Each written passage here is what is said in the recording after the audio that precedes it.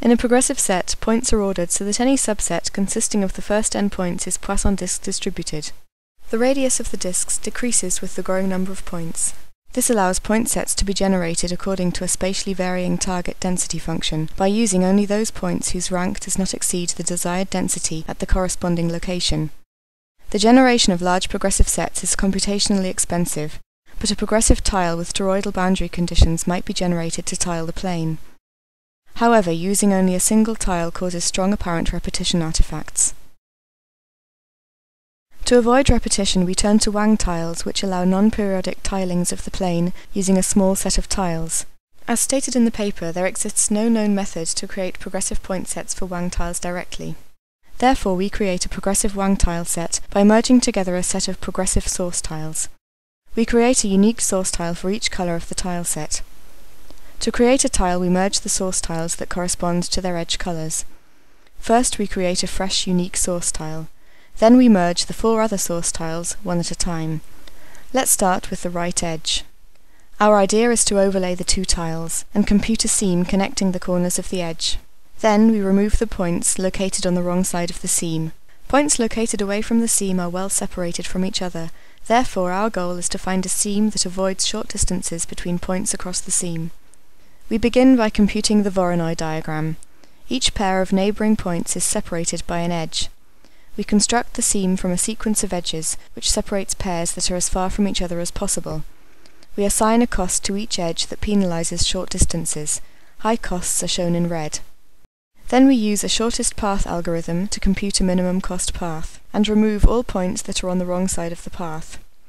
We use the same algorithm to merge the sources for the remaining edges. As you see, the resulting point set is well distributed. Finally, we create a progressive ranking for the tile as described in the paper. The tiles fit together perfectly and are also well distributed. In the following, we introduce recursive Wang tiles, which allow us to create point sets of unlimited density. We associate each tile with a grid of n by n scaled down tiles from the same set. This allows us to create arbitrary large tilings by recursively subdividing a coarse-based tiling or even a single tile. To guarantee that subdivided tiles match, we associate each edge color with a unique color sequence for subdivision. Now we have to find an arrangement of subtiles for each tile that agrees with these color sequences. We employ a stochastic search in order to find a valid tiling. We begin with a random tiling that does not account for the color matching constraints and repair it iteratively as described in the paper. As a last step, we have to create a smooth point progression from a base tile to its subdivision. We achieve this with a relaxation procedure, where we move each base point slightly towards its nearest point in the subdivision set. Finally, we create a new ranking for the combination of base and subdivision points, as described in the paper. Now the point sets are recursive.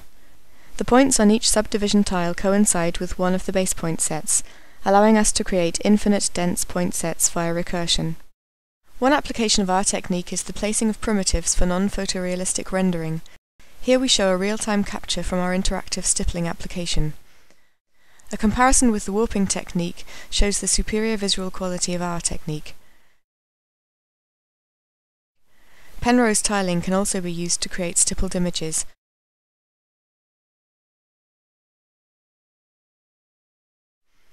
Note the high frame-to-frame coherence of our method. The stipples exactly follow the movement of the camera when panning and zooming. While zooming in, we increase the number of stipples to keep the apparent density constant. We can infinitely zoom in without slowdowns. The next demonstration of our technique is an interactive texture painting application. The user provides a set of small alpha cutout images, which we call textons. At runtime, the user can interactively spray out textons by painting density maps using a brush. For each frame, the texton positions in the visible area are computed in real time using our technique. The compact density map representation allows large areas to be handled. Our application can be used to create interesting paintings. With standard image coding techniques, we can compress the density maps. Compressed, this painting takes only about 4 kilobytes of space.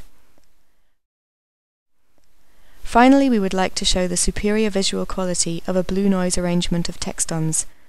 See the improved appearance of our arrangement in comparison to a random placement of textons.